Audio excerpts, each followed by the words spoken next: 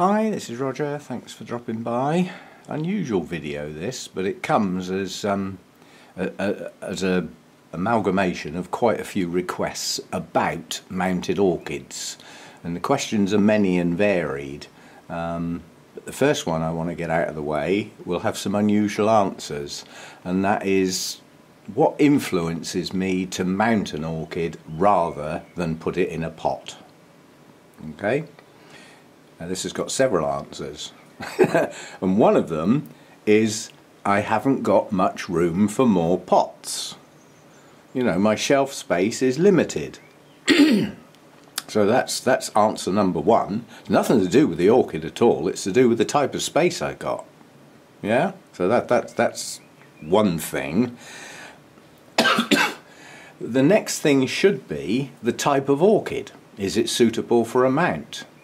Well, quite honestly, depending on how much work you're going to put in, most orchids will grow on a mount. It's just a matter of um, the type of orchid's needs.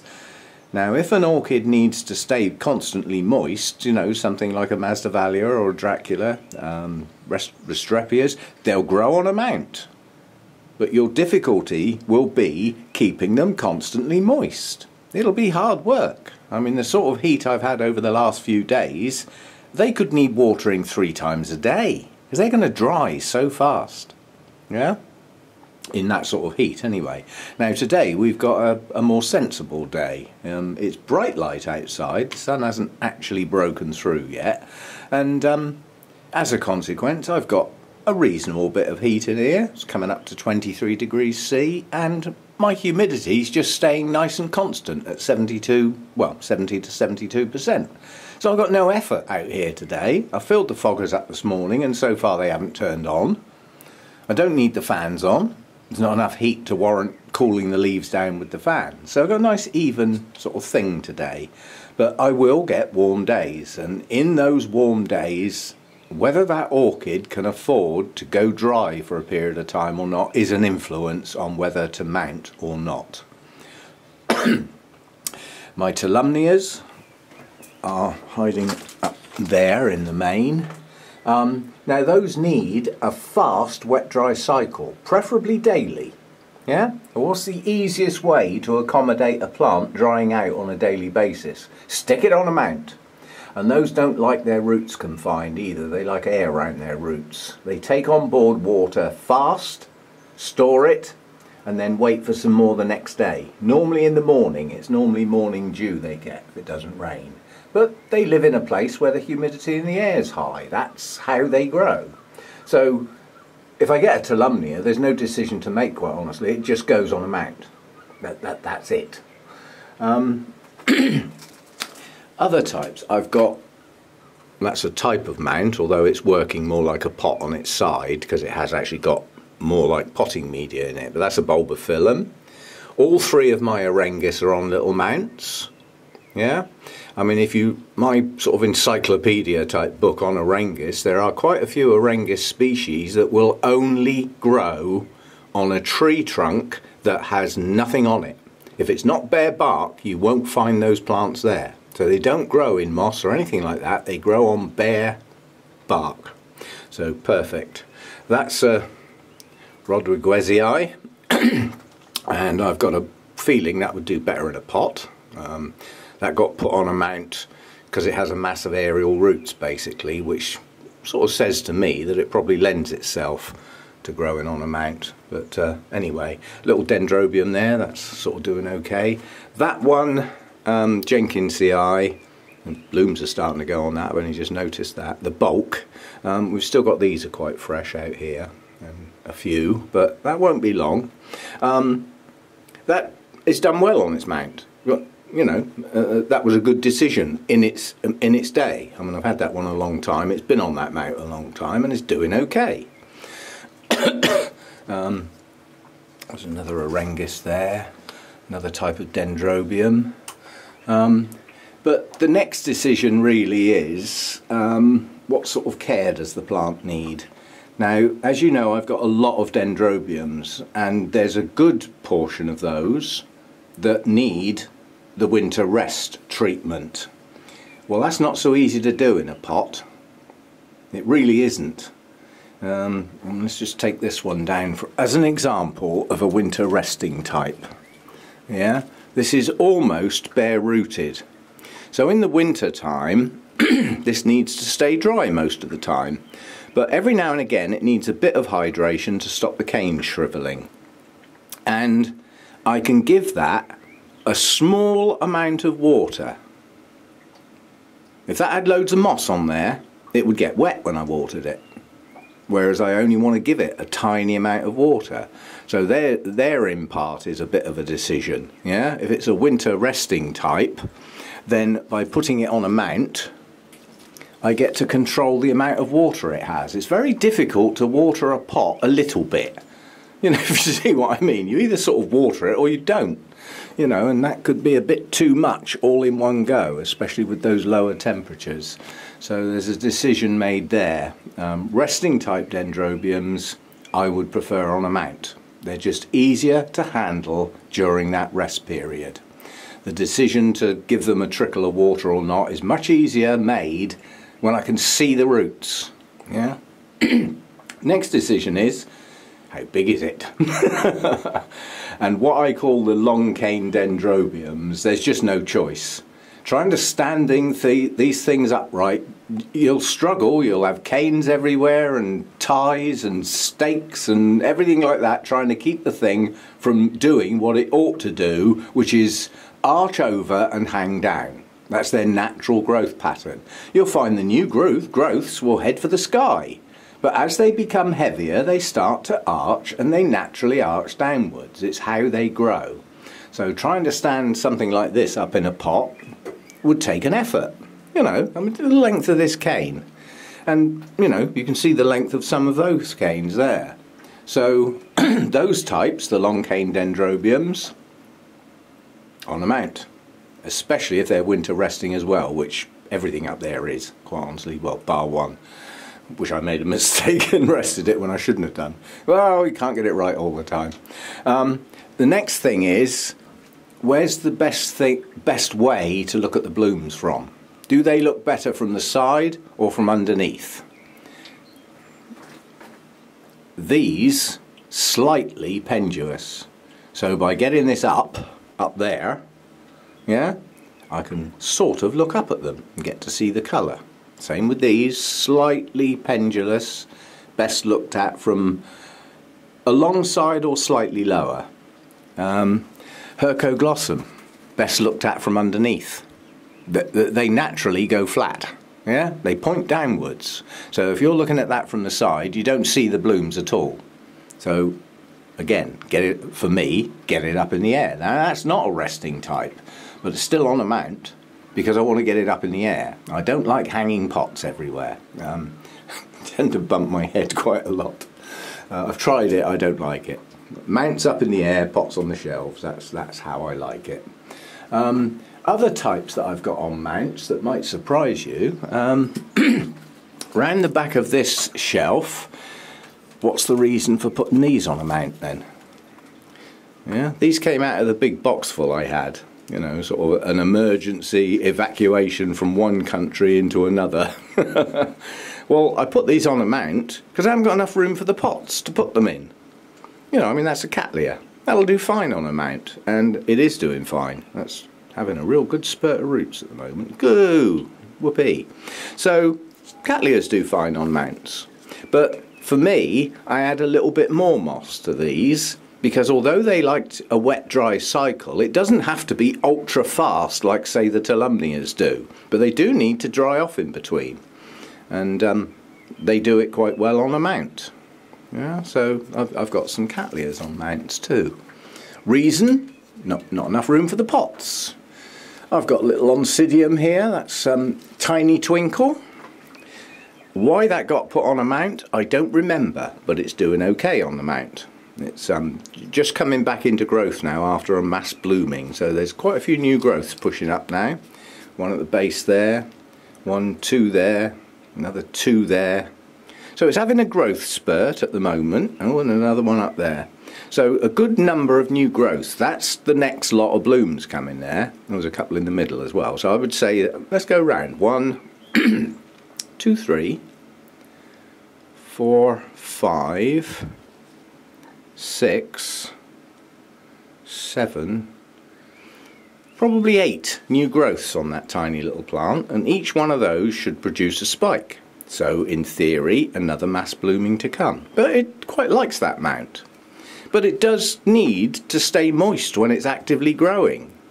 So this has now got a workload. Yeah?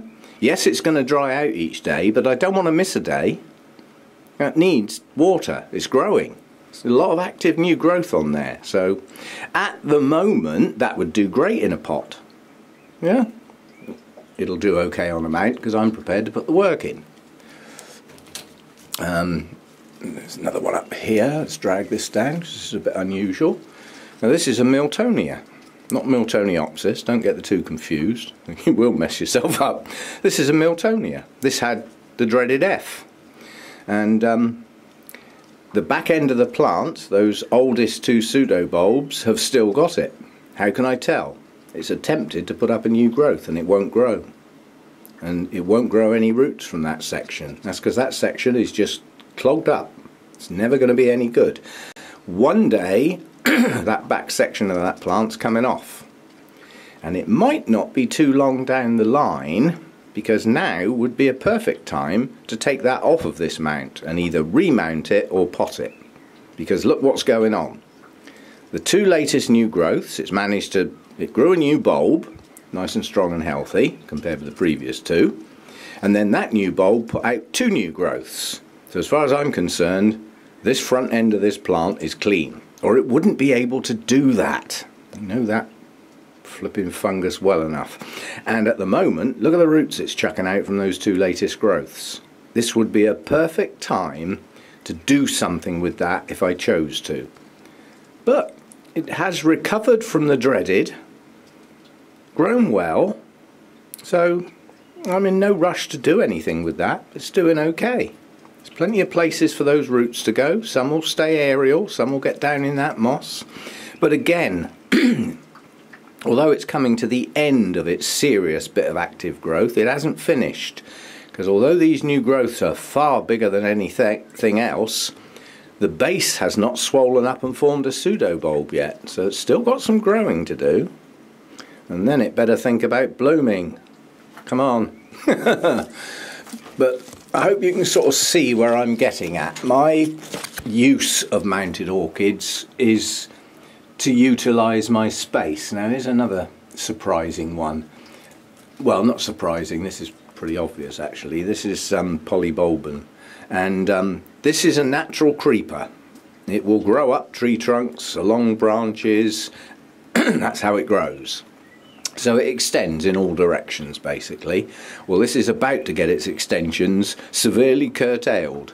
Those two leads heading up to the top of the mount and off the top are going to get cut and replanted down here. There's loads of new growth in the centre, yeah? But at the moment those two extensions are going to get lost off the mount soon. So while they've got good roots, I'm going to replant those down there and then they can creep up through the plant and head up to the top again but that's probably wouldn't do too well in a pot. I have seen them in pots, but for me it's easier to manage on a mount. Right, another surprise. You might say, what on earth are you doing putting a brassia on a mount? The reason, hang it up, this is the reason that's on a mount that spike's probably going to get two foot long with enormous blooms when they finally come out. If that was in a pot, that would have to be staked and it would have to go on a shelf that would allow that spike to stick up two feet. Yeah, so again, it would take up shelf space. But by having it mounted where I can get it in a place this spike can extend and as the buds form and it gets heavier, it will arch naturally. Well in a pot, if it arched naturally, it would look good, But look how much shelf space that would then need just to accommodate the flower spike. So my reason for putting that on a mount was purely because I knew the flower spike would be enormous in length. And trying to get that organised on shelves is not very easy. But hanging up, no problem at all. Seems to be happy on its mount as well. Mean, that latest growth is far bigger than anything else. It's uh, certainly chucked out some roots. So uh, that's why that one got mounted, purely because of its flower spike. Nothing to do with the type of orchid really, it's to do with the way it blooms. So uh, there we go. Now on the dendrobium front, the ones I don't mount are the Latouria types and the Phalaenopsis types. And the reason is they're continuous growers, they naturally grow upright and normally don't need any help at all at keeping those canes heading skywards. In other words, they don't need staking, they're self-supporting, but the most important thing is they're continuous growers. Yeah, and certainly in the growing season they shouldn't dry out. Well, that's almost impossible on a mount. So combination of how it grows and how it needs to be looked after says that those are not so good on a mount. Yeah? So you can sort of see where I'm coming from. But I like my mounted orchids. I just have a let me stand back a bit. if you have a look round the shelves, now imagine that there was nothing up in the roof. How boring would that be out here? You know, it extends the greenery into far more places. And it, it feels more tropical like when I come out here because I've got things like growing up above me and um, alongside and some that I have to look down at. Some I look down at because I don't like them that much. Uh, another story. But you see where I'm coming from. I like my mounted orchids, but I am selective. There are certain orchids that would do less well on a mount because I couldn't keep up with their care. Yeah?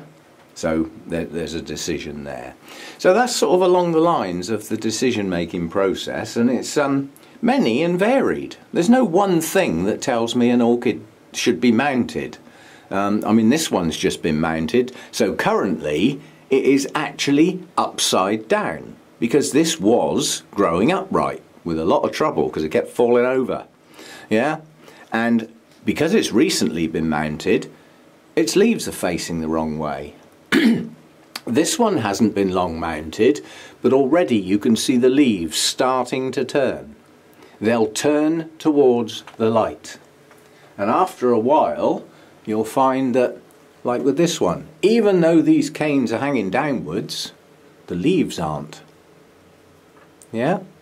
So they acclimatise to have their leaves facing upwards once they've been there a while. Don't do it immediately. Um, it's difficult. If you look at that um, that one at the end near the door, if you look at the leaved canes, the non-leaved canes on that one are currently full of buds or spikes. Um, there'll buds be on the end of the spikes soon. But if you look at the canes, they're hanging almost directly downwards, but the leaves are facing upwards. Yeah? They, they acclimatise to how they're being grown. These canes, yeah?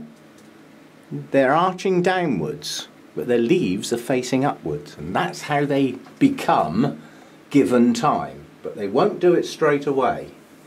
So uh, yeah, don't you know if you when you first mount a plant, it may look odd because you've just turned it from being upright to being upside down. But give it give it time, and it will start to look right. And there is a look about them once they once they have been growing on a mount in a pendulous form for an amount of time, they look right. But it, it takes a while, it can take a year before it happens. And often it's the new growths that do it. So if you look at those new growths up there, they're pointing towards the sky, but uh, they're going to get this long. So eventually they will get heavy and they'll just start to keel over, they'll end up horizontal, and then eventually they will turn downwards, but their leaves will point upwards. Yeah, so they, they, they do acclimatise to the way they're being grown. So uh, yeah, just a chat about mounted orchids. So this bush down here, actually got, got some new blooms open on this one. Jolly good. Lovely honey scent on that one. Um, endearingly known as the bush, that would grow mounted, but it, for me, it probably wouldn't look quite, quite right. For a start, it would be from the ceiling far too low. You know, if you, if you look at the height of this thing, um, and if it was hung upside down, its natural arching habit, once the canes get to their height, they'd end up doing that. That's now four foot long. Well, where can I put four foot of orchid up here without keep walking into it? that really would look like a jungle. So this one naturally puts up strong new growths. They get to a certain height and then they arch and then they start to branch. And they do get a lot of branches on them. Yeah? So it naturally grows like that. For me, that would probably look wrong on a mount. And it would be too big to mount. For once, it's too long to actually put up in the roof, but it's doing okay where it is at the moment. So, uh, but again, look how many stakes I've had to. I've, there's ties and stakes on this to keep it upright because it was quite gangly when I got it. But future growths can be trained to grow up the middle and then from the top arch outwards. And I think eventually, uh, you know, I'll get a look more like this, but round the whole plant. That's my goal with that one anyway. Um, I don't count Vandas as mounted orchids. They're just bare rooted. Um, that, that's a different thing altogether. Um, but I like them bare rooted because I like to keep them up there.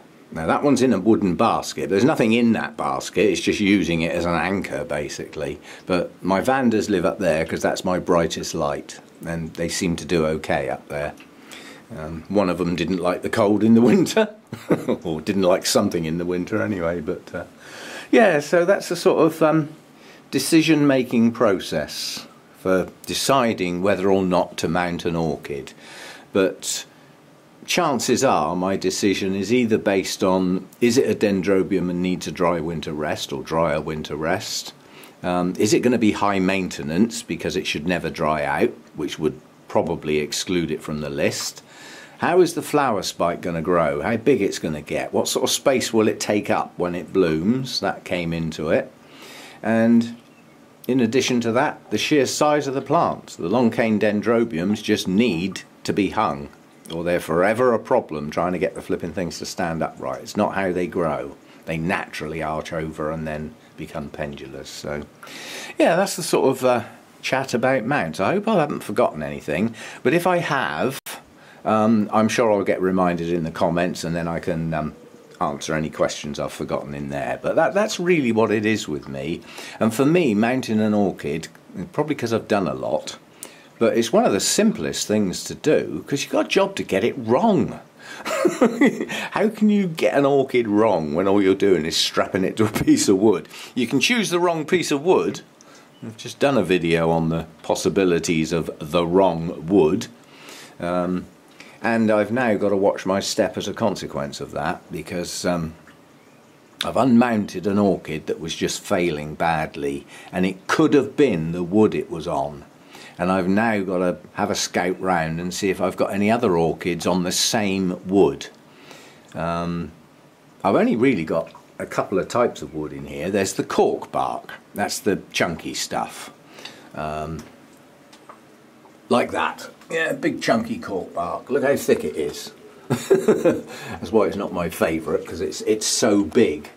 But then there's the curved type like this, and I'm pretty sure that that came off a piece of trunk that I got for the cats to scratch out in the garden, and that was hawthorn, English hawthorn.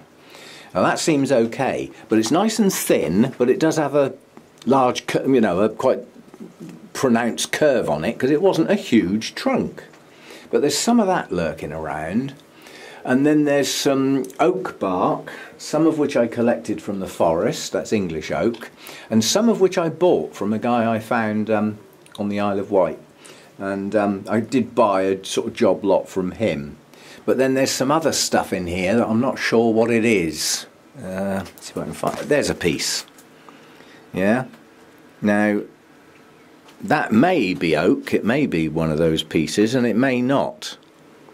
But it's If it is, it's quite thick and it would be difficult for me to imagine how they managed to get that off the trunk with that that depth of bark. But anyway, I'm keeping my eye on my different types of wood in case I've got some dodgy stuff in here that's, um, I mean, this is a dodgy plant. Could it be the wood? Now that's very, very thin, so that probably is the oak. But the roots on that are not doing well. They're objecting to something. So I might take that one off. But type of wood, it's difficult to find out whether it's good for your orchids or not.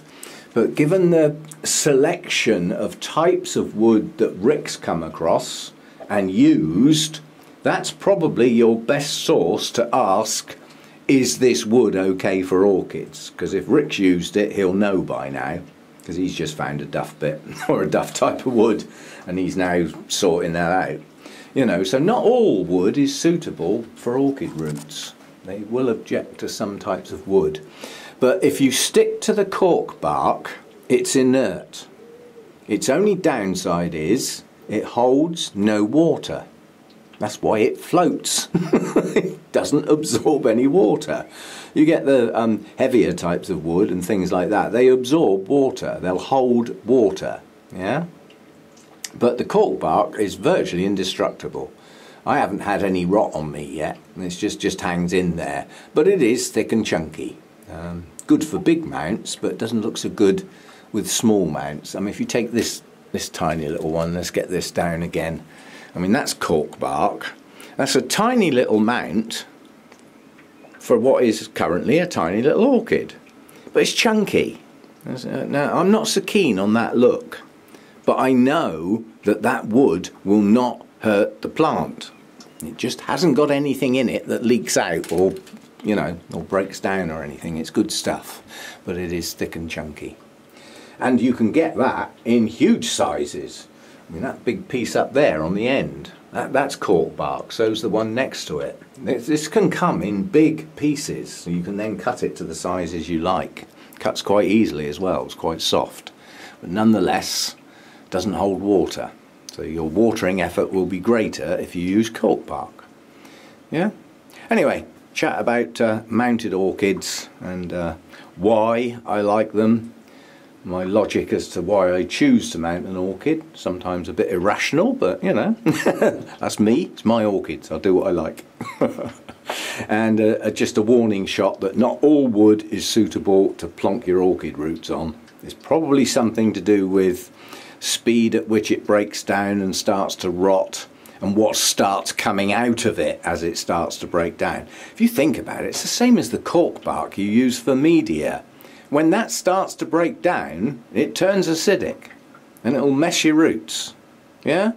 So it's the same sort of thing, just in one big piece instead of lots of little pieces. The logic's there, you know. So go steady. Don't let your wood start falling apart around your roots because there could be stuff forming that's just turning your roots off. So, uh, right. See you next time. And if I've forgotten anything, stick it in the comments and I'll see what I can do. Bye now.